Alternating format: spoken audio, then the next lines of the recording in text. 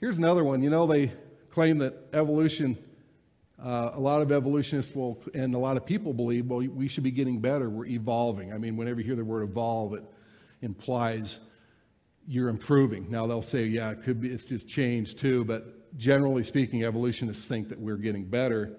Yet evidence comes in all the time that we're not. And here's an example. They did a measurement where they, they uh, compare reaction times. And they were able to, they did this uh, over 100 years ago. And then they did it again, and they discovered that our IQ would be 14 points less than our 19th century ancestors. So each generation, sorry, we're getting just a little bit, our, our IQ is going down just a little bit, our, uh, our reaction time. So I gave a talk at a high school about two months ago, whenever I can tell you exactly when I gave that talk because the next slide is exactly the day. So the day be, this is the day before I gave a talk, 28 April 14th. I'm like, well, I got to add this slide because look what this slide says. Modern humans have become weaklings compared with our ancient ancestors who could outrun and outlive today's top athletes. So more evidence that over time, through generations, that we're not evolving into, you know, the mutations slowly, slowly, slowly, gradually accumulate. I mean, God's blessed us with a DNA system that has a remarkable uh, quality control system. Mutations are very rare. But because we're in a fallen creation, we are slowly, each generation, just very slowly, you know, getting less fit or however you want to call it. Definitely goes against the evolutionary paradigm. Okay, so here's another illustration I wanted to show you. So, our chromosomes, as I mentioned, over time, if you go back to Adam 6,000 years ago, just I'm using baseball as an example that just imagine as it gets, as we come to today, we build up a genetic load. We accumulate more mutations over time, slowly. Uh, you know, where, Kate, where did Cain get his uh, wife married his sister, right? A lot of people freak out at that. But the Bible said Adam and Eve, Adam and Eve had many children. Well, this is Adam and Eve's time, okay? There's no mutations. They could have had, you could marry a sister and not have any genetic problems. So God did not outlaw incest until around this time frame here, you know, Exodus uh, with the law when it was given to Moses. Then he outlawed incest. Remember, Abraham married a half sister. So when the genetic load got too large, that's when God said, okay, we got to stop having close relations.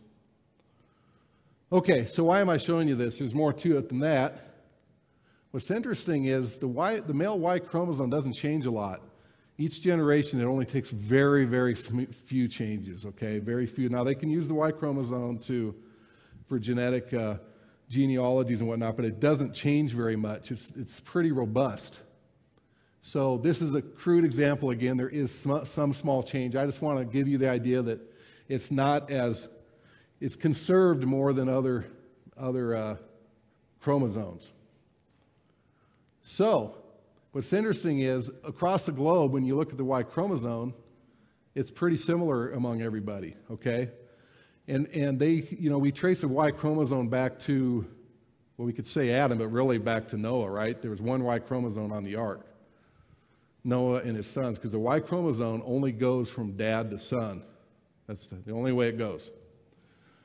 Okay, so if you're an evolutionist, you would make a prediction, and they did. So they knew of this.